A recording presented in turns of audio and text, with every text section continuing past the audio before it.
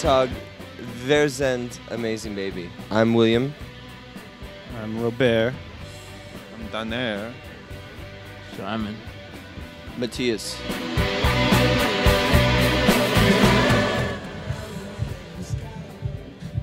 Oh, festival. Oh. This one's scary. I like it. All the equipment, the old World War II equipment. The giant, like dangerous disco balls that could fall on you at any moment. I like the Melt Festival. Um, We, we really just. This is gonna. This is one of our the first festivals we played. We just started doing it, and so far, uh, it's been awesome. I'm. Our bus calls at four in the morning, so I think we're going to be be forced to enjoy the shit out of the Melt Festival. I like how each festival has its own unique character. You know, we played Latitude last night, and that could not have been any more different.